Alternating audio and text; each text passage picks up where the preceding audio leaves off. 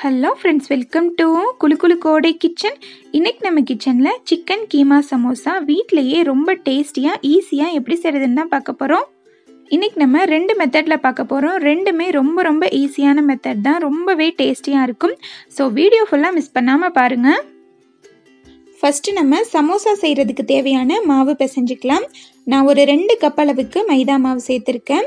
இது ஒரு half KG இருக்கும். இதுக்கு தேவையான அளவு உப்பு சேர்த்துக்கலாம். இந்த மாவுக்கு உப்பு கரெக்டாக இருக்கணும். அப்போ தான் நமக்கு சமோசா ரொம்ப டேஸ்டியாக இருக்கும். இப்போ இது கூட ஒரு ரெண்டு டீஸ்பூன் ஆயில் சேர்த்துருக்கேன். இதை நல்லா மிக்ஸ் பண்ணிவிட்டு கொஞ்சம் கொஞ்சமாக தண்ணி சேர்த்து சப்பாத்தி மாவை விட கொஞ்சம் டைட்டாக பிசைஞ்சு எடுத்துக்கோங்க. மாவை பிசைஞ்சிட்டு ஆயில் அப்ளை பண்ணி விட்டுட்டு மூடி போட்டு இதை எடுத்து வச்சுருங்க. இது இருக்கட்டும். நம்ம இதுக்குள்ளே வைக்கிற ஃபில்லிங் ரெடி பண்ணிடலாம். அதுக்குள்ளே இந்த மாவு இன்னும் நல்லா சாஃப்ட் ஆகட்டும். இப்போ கேஸ் ஆன் பண்ணிவிட்டு ஒரு பேன் வச்சுக்கிட்டேன். அதில் ஒரு ரெண்டுலேருந்து மூணு டீஸ்பூன் அளவுக்கு ஆயில் சேர்த்தாச்சு. ஆயில் சூடாகவும் ஒரு ஏழு எட்டு பல் பூண்டு ஒன்றரை இன்ச் அளவுக்குள்ளே இஞ்சியை இந்த மாதிரி குட்டி குட்டியாக சாப் பண்ணிவிட்டு சேர்த்துக்கோங்க. இஞ்சி பூண்டு பேஸ்ட் இந்த ஃபில்லிங்க்கு சேர்க்காதீங்க. நல்லா இருக்காது. இந்த மாதிரி சேர்த்தா தான் நல்லாயிருக்கும் இப்போ இது ரெண்டையும் எண்ணெயில் நல்லா வதக்கிக்கோங்க.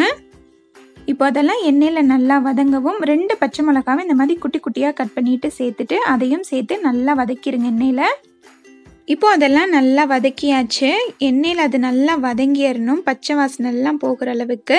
இந்த ஸ்டேஜில் ஒரு நாலு பெரிய வெங்காயத்தை இந்த மாதிரி ஃபைனாக சாப் பண்ணி வச்சுருக்கேன். அதையும் சேர்த்துக்கலாம். சேர்த்துட்டு அதோடு சேர்த்து நல்லா வதக்கிக்க போகிறோம்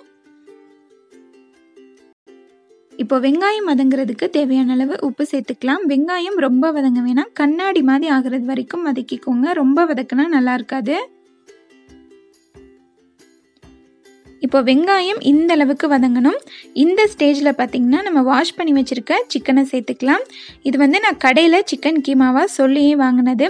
உங்களுக்கு இந்த மாதிரி வாங்க முடியல அப்படின்னா என்ன பண்ணுறீங்கன்னா போன்லெஸ் சிக்கனை மிக்சி ஜாரில் போட்டு பல்ஸ் பண்ணி எடுத்துக்கிட்டிங்கன்னா உங்களுக்கு இதே மாதிரி கிடச்சிரும். இப்போ இது எல்லாத்தையும் நல்லா மிக்ஸ் பண்ணி விடுங்க. நல்லா இந்த அளவுக்கு மிக்ஸ் பண்ணி விட்டுட்டு மூடி போட்டு ஒரு அஞ்சுலேருந்து ஏழு நிமிஷம் கொதிக்க விடுங்க. சிக்கன்லேயே தண்ணி விடும். சுத்தமாக தண்ணி சேர்த்துறாதீங்க. இப்போ பார்த்தீங்கன்னா ஒரு அஞ்சுலேருந்து ஏழு நிமிஷம் ஆச்சு. சிக்கன் வந்து இந்த அளவுக்கு கலர் சேஞ்ச் ஆகிருக்கணும் இந்த ஸ்டேஜில் நம்ம மசாலா சேர்த்துக்கலாம்.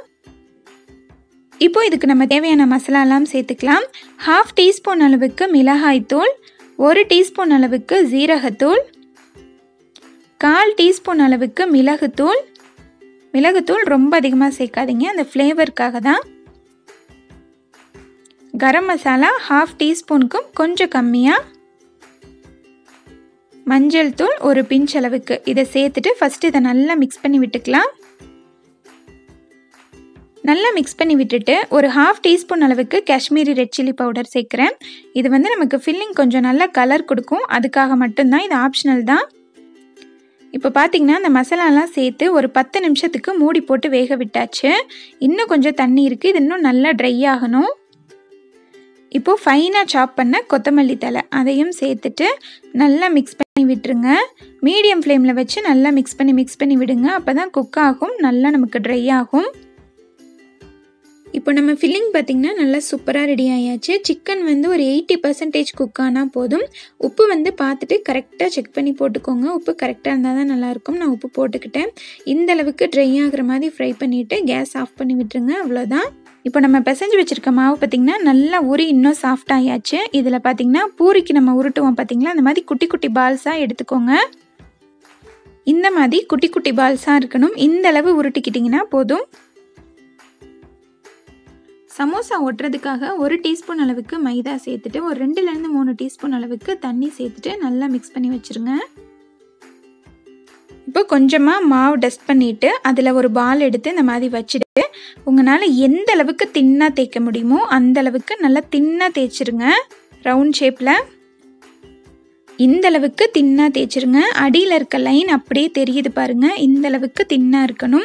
இப்போ அதிலேருந்து பாதி எடுத்து இந்த மாதிரி வச்சுக்கோங்க. வச்சுட்டு ஒரு சைடு இப்படி மடக்கிடுங்க மடக்கிட்டு நம்ம மிக்ஸ் பண்ணி வச்சுருந்தோம் இல்லையா? மைதா மாவும் தண்ணியும் அதை எடுத்து இந்த மாதிரி அப்ளை பண்ணிடுங்க அதை ஒட்டுறதுக்காக.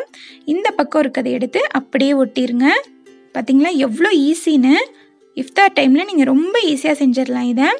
இப்போ இதை எடுத்துகிட்டு ஒரு கோன் மாதிரி நம்ம கைகளில் இந்த மாதிரி வச்சுக்கணும். பார்த்தீங்களா கோன் மாதிரியே இருக்குது இப்போது இதுக்குள்ளே நம்ம ரெடி பண்ணி வச்சுருந்த ஃபில்லிங்கை வச்சுக்கலாம். அதில் எந்த அளவுக்கு வைக்க முடியுமோ அந்த அளவுக்கு வச்சுக்கோங்க.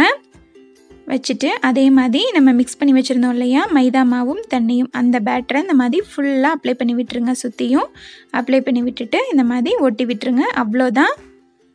நல்லா ஒட்டி விட்டுருங்க. ஈஸியாகவும் ஒட்டிடும் அவ்வளோதான். நம்ம கோன் சமோசா சூப்பராக ரெடி ஆயிடுச்சுல? இப்போது இன்னொரு மெத்தட் செய்கிறதுக்கு அதே போல் ஒரு பால் எடுத்துகிட்டு அதை இந்த மாதிரி ஓவல் ஷேப்பில் தேய்ச்சிக்கோங்க.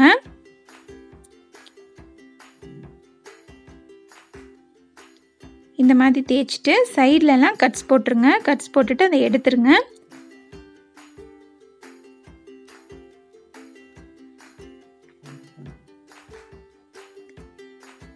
எடுத்துட்டு கீழே பார்த்தீங்கன்னா இந்த மாதிரி மொத்தமாக நைன் கட்ஸ் போட்டுக்கோங்க.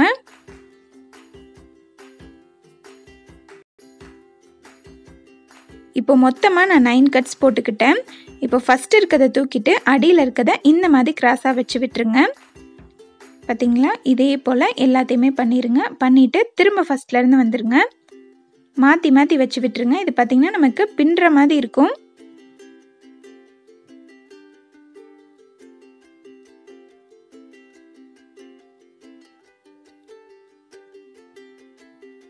அவ்வளோதான் இதே மாதிரி எல்லாத்தையுமே வச்சு விட்டுட்டு நம்ம ஃபில்லிங்கை அந்த ஸ்டார்டிங்கில் வச்சுருங்க. அந்த இடத்துல வச்சுட்டு சுற்றியும் நம்ம மைதா மாவு பேட்டர் இருக்குது பார்த்திங்களா அதை அப்ளை பண்ணி விட்டுருங்க. அப்போ தான் நமக்கு பிரியாது. சைடில் இந்த மாதிரி வச்சு விட்டுட்டு அப்படியே மடிச்சிருங்க. நல்லா இந்த மாதிரி ப்ரெஸ் பண்ணி விட்டுக்கிட்டே மடிச்சிருங்க. அவ்வளோதான் இப்போ அந்த ஓரங்களையும் லைட்டாக அந்த பேட்டர் தொட்டுட்டு அப்ளை பண்ணி விட்டுருங்க. அப்போ தான் நமக்கு நல்லா ஒட்டிக்கும். ஒரு ஃபோர்க் வச்சுட்டு ரெண்டு சைடுமே ப்ரெஸ் பண்ணி விட்டுருங்க. அப்போ தான் நமக்கு ஃப்ரை பண்ணுறப்ப பிரியாது பார்க்கவும் நல்லாயிருக்கும். அவ்வளோதான் எவ்வளோ ஈஸி பாருங்கள் பார்க்கவும் ரொம்ப அழகாக இருக்கும் இது. இப்போ நம்ம சமோசா ரோல் அதுக்கப்புறம் கோன் சமோசா. ரெண்டுமே நல்லா சூப்பராக ரெடி ஆயாச்சு. அடுத்து ஃப்ரை பண்ணிடலாம். ஃபஸ்ட்டு வந்து நம்ம சிக்கன் ரோலை ஃப்ரை பண்ணி எடுத்துக்கலாம். அதுக்கு பார்த்திங்கன்னா எண்ணெய் இந்த அளவுக்கு காஞ்சா போதும். ரொம்ப காஞ்சிருச்சுன்னா நமக்கு வெளியே நல்லா ஃப்ரை ஆயிரும். உள்ளே அப்படியே இருக்கும். அதனால் எண்ணெய் இந்த அளவுக்கு காஞ்சிருக்கும் போதே மீடியம் டு ஹை ஃப்ளேமில் வச்சு திருப்பி திருப்பி போட்டு நல்ல ஒரு கோல்டன் ப்ரௌன் கலர் வர்ற வரைக்கும் ஃப்ரை பண்ணி எடுத்துக்கோங்க. இப்போ பார்த்தீங்கன்னா நல்லா திருப்பி திருப்பி போட்டு நல்ல ஒரு கோல்டன் ப்ரௌன் கலர் வர்ற வரைக்கும் ஃப்ரை பண்ணியாச்சு. இதை எடுத்துட வேண்டியது தான் பார்க்கவே எவ்வளோ சூப்பராக இருக்குது பாருங்கள் டேஸ்ட் ரொம்ப ரொம்ப நல்லாயிருக்கும். இப்போது கோன் சமோசா எல்லாத்தையுமே போட்டு ஃப்ரை பண்ணி எடுத்துக்கலாம். மூணு மூணாக சேர்த்துக்கோங்க. இது நல்லா பெருசாகவே இருக்கும். ஒன்று சாப்பிட்டிங்கனாலே நல்லா ஃபில்லிங்காக இருக்கும். ரொம்ப ரொம்ப டேஸ்டியாக இருக்குங்க. இப்போ இதுக்கும் மூணு போட்டு ஃப்ரை பண்ணி எடுத்துக்கலாம்.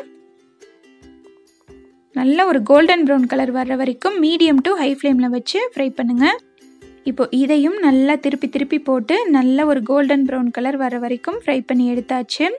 ரொம்ப ரொம்ப டேஸ்டியாக இருக்குங்க. ஹண்ட்ரட் பர்சன்டேஜ் இது டேஸ்ட் அவ்வளோ நல்லாயிருக்கும் கண்டிப்பாக நீங்கள் செஞ்சு பாருங்கள் திரும்ப திரும்ப செஞ்சுட்டே இருப்பீங்க. இப்போ நம்ம chicken keema samosa chicken roll ரெண்டுமே ரொம்ப சூப்பராக சுட சுட ரெடி ஆயாச்சு. இது ரொம்ப ஈஸி தாங்க. சிக்கன்லாம் ரொம்ப நாளைக்கு மசாலா போட்டு ஸ்டோர் பண்ணிலாம் வைக்காதீங்க. அது உடம்புக்கு ரொம்பவே நல்லது கிடையாது. அதுவும் இஃப்தார் டைமில் அந்த மாதிரி எடுக்காதீங்க. ஃபுட் பாய்சன் ஆகுறதுக்குலாம் ரொம்ப சான்ஸ் இருக்குது முடிஞ்ச அளவுக்கு ஃப்ரெஷ்ஷாக செஞ்சு சாப்பிட பாருங்கள் இந்த ரெசிபி கண்டிப்பாக உங்களுக்கு பிடிச்சிருக்கும்னு நம்புகிறேன் இந்த இஃப்தாருக்கு இந்த ரெசிபியை நீங்கள் கண்டிப்பாக ட்ரை பண்ணி பாருங்கள் ரொம்ப ரொம்ப ஈஸி அண்ட் டேஸ்டியான ஒரு ரெசிபி நம்ம சேனலோட எந்த ரெசிபிஸ் நீங்கள் ட்ரை பண்ணாலுமே ப்ளீஸ் ஃப்ரெண்ட்ஸ் மறக்காமல் ஒரே ஒரு ஃபோட்டோ எடுத்து என்னோட மெயில் ஐடிக்கு நீங்கள் சென்ட் பண்ணிடுங்க மெயில் ஐடியை டிஸ்கிரிப்ஷன் பாக்ஸில் தரேன். செக் பண்ணி பார்த்துக்கோங்க. நீங்கள் ஷேர் பண்ணுற இமேஜஸை உங்கள் நேமோட கம்யூனிட்டி டேப்பில் ஷேர் பண்ணலாம்.